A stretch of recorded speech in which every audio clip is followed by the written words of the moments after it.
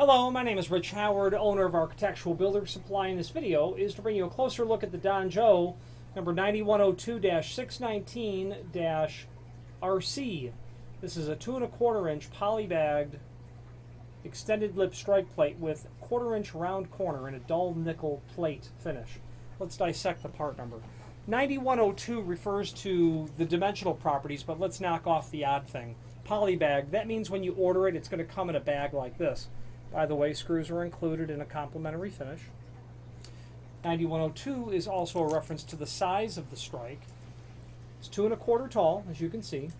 Now the overall width of this, about two and a half inch, but how this is classified is as a two inch strike because that's the dimension from the edge, pardon me, from the center line of the screw hole to the edge of the lip. That's how extended lip strikes are classified. 619 is a reference to the finish, satin nickel. RC, that's obvious, radiused corners here and here. Now, where are you going to use this? Well, this strike is going to be used where you have a condition of the frame or the door that the latch makes premature contact with the wall, the casing, the jamb. Uh, two common scenarios that cause that is when, and most commonly, when you just simply have unusually thick casing on the pull side of the door. You could, you know, standard casing is half inch. Well, imagine if your casing for some some reason was inch and a quarter. You would certainly need an extended lip strike, and indeed, this is about three quarter inch longer than the standard common strike, which are inch and a quarter lip length. This is two inch lip length. The two and a quarter tall, incredibly common for wood frames, uh, along with the fact that it's radius corner. That tells me it's a wood frame.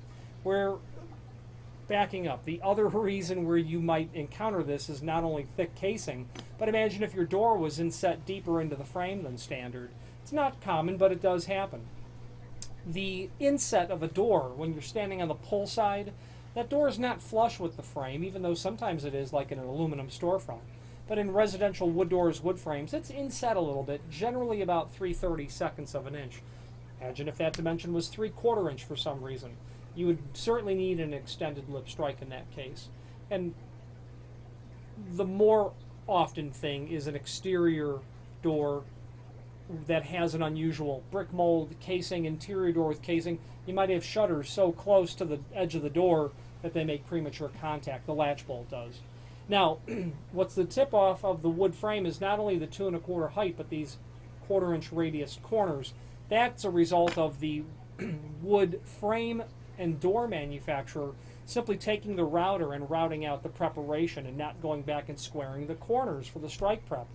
Quarter inch radius, that's a half inch diameter router bit that was used. So that's very common. Why you would want to order this? Well, because you don't know the difference and it matches existing and that's what you order because that's what you have. Or you might know the difference and you don't want to chisel out the corners because you don't want to chisel out the corners to make a square corner strike. So radius corner are common for that sort of um, instance where you already have a radius preparation, or you're going to build one and you just want a radius strike because you don't want to square the corners or you want to match the balance. And by the way, if you're thinking about extended lip strikes, you might need to think about um, wide throw hinges as well, which we can help you with. There is a link below this video to a document called Template, which shows all of the dimensional properties of the item beyond what we've already gone over. It also indicates the other finishes available. 605 is a polished brass, solid brass base material. 609, uh, antique brass with uh, with a brass base material. 619, which is this, satin nickel. 620 is at antique nickel. 630, stainless steel.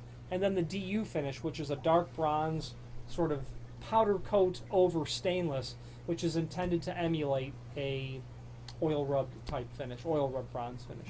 There's also a link below this video to a document called Product Catalog, and that's handy because it will allow you to review this strike and all of Donjo's sister products as it pertains to uh, not only extended lip strikes, but standard strikes and other specialty strikes. Finally, there's a link below this video to the manufacturer's page where you can pull up the full Donjo catalog and review all things trim and auxiliary hardware related from Donjo. What they're most known for is going to be their latch protectors, and their door reinforcing wraparound plates. But as you can see, they have many other items, not only strike plates, ladder pulls, hinges, filler plates, door stops, holders, bumpers, pulls, push and pull hardware, pivots, protection plates, door edges, and things of that nature. If you have any questions on the Donjo number 9102-619-RC, radius corner satin nickel full lip, 2 inch extended lip strike, or any other Donjo product, please feel free to reach out to us. Thank you.